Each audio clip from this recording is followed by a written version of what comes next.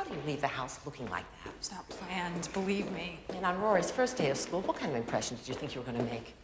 What are you doing here, Mother? I told you I came to put in a good word for Rory. Oh, she didn't need a good word. I'm not allowed here, is that it? I didn't say that. I'm allowed to pay for it, but I can't actually set foot on the premises, so I just want to get the rules straight.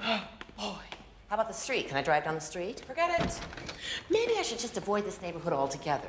Though my doctor's just down the block, maybe I can get special permission if I'm bleeding from the head. I'm sorry. I was just surprised to see you here.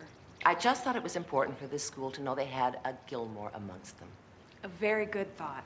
and that some of the Gilmores actually own clothing. And on that note, I have to get to work. I'll see you later. Dinner Friday night. No spurs, please.